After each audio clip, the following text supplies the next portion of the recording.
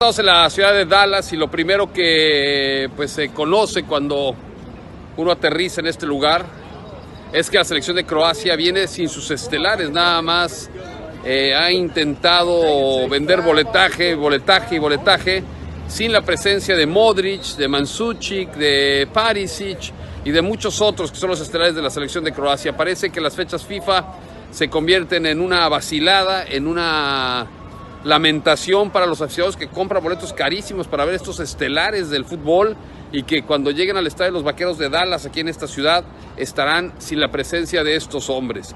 La decisión después de jugar contra Perú del equipo croata de eh, dejar ir a sus equipos de origen a estos futbolistas, pues no habla más que de la poca seriedad y de la del poco profesionalismo que tiene el equipo croata para encarar un compromiso de esta categoría.